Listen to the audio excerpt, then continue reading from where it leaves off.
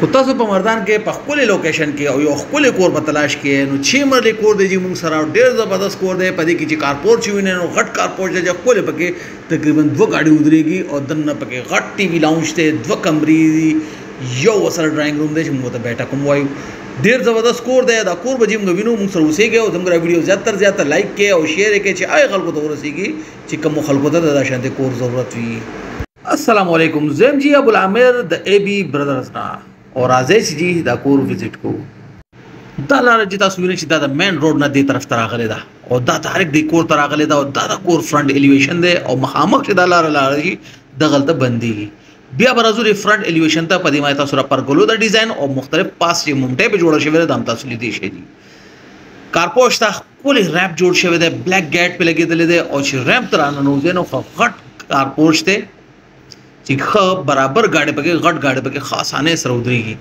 بیا چې کوم دی موږ سره یو د ډراینګ روم بیټک هر څه ودې تاسو ویلی شئ د هغې دروازه را او یو سره د ټي وي لونچ دروازه ده زه به چې موږ به دا ډراینګ روم به وینو هغه وینټیلیشن ونډو ده او دې خوا سره اټیچ واشروم دی په واشروم کې ټایلز او سانیټری مکمل تقریبا هر څه پکې برابر دي دي زوب جی اوس ټي وی لاونج طرف ته او ټي وی لاونج تاسو ته خو په دې کې د نورو کورونو په نسبت باندې لږ غټ ټي وی لاونج ته ولې چې دا 6 مرلیم دی او بل دلته کې مرلم پوره ده چې مرلې کې لار نه کټ کیږي دغه مخامخ سره کچن دی خو دوه بیډرومونه دي دغه دوه بیډرومونه د هم وزټ کوو زوب دې کچن ته کچن کې تاسو را کابینټ او کچن ټاپ وغیرہ تاسو لیدی شي خپل طریقې سره کړی دي ماربل په لګولې دي او د خو سره وینټیلیشن وینډو هم ده بیا چې کوم ده دا تاسو لیدې شئ زو به چې اوس بیډروم طرف ته او بیډروم به تاسو ته خیو چې بیډرومونه په دې کې څنګه سایز کړي بیډرومونه هم تقریبا په دې کې خو غټ فل سایز کې بیډرومونه دي ولې چې چی مرلې کور دی زو به چې دې بیډروم ته او دې کې اوسره هغه اٹیچ واشروم دی دغه اوسره وینټیلیشن وینډو او سیلینګ وغیرہ تاسو لیدې شئ او لاندې ماربل هم لیدې شئ تاسو په کور کې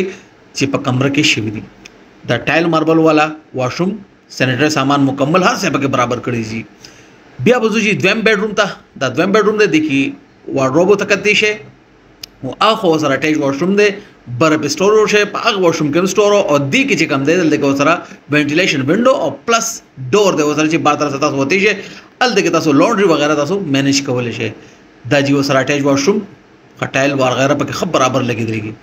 او دا غالمارې دي چې تاسو لیدې شئ په دې کې خو برابر لاندې پارټیشن هر څه په کې خو برابر کړی دي او د یو وی شیټ نه جوړ کړی دي تاسو د دې کمرې وزټ هم ختم شو بیډروم دام وزټ شو زوب جی وس بارتا او بر فلور بم تاسو ته پدې کې خو چې په بر فلور کوم سره سدي خدای غیر مخکې بم راځو تاسو ته بر دي دا اوپن ایریا چې په کم کې لانډري وغیرہ تاسو مینج کول شي هغه نلکې وغیرہ لګیدلې دي د لګي لانډري تاسو مینج کول شي په دې کې لانډري کې دي شي او مختلف قسم له اکټیویټیز تاسو په دې کې کول شي زوبجی